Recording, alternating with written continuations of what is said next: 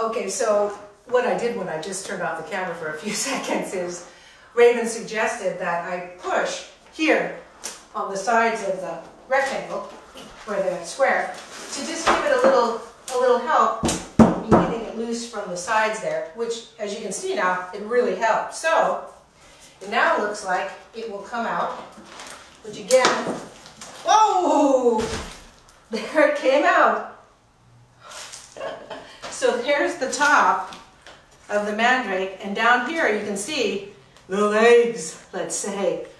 So now we have to go at the process of gently, again, kind of removing the dirt so that we don't really, you can't help but take off some of the feeder roots. It's, that's just what, those are the very fine hair roots that are typically white. So we don't know what shape we're going to get here with this baby.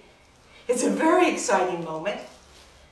Um, like here I can see that there's, looks like there's a root right here. Try not to break that off. Again, gently just kind of coercing the dirt. Because I don't know if the root is actually going straight down or if it's curled around or, you know, how it has taken shape. You always hope, oh goody, I hope it's going to look, you know, like a human. But we don't know yet. Getting closer.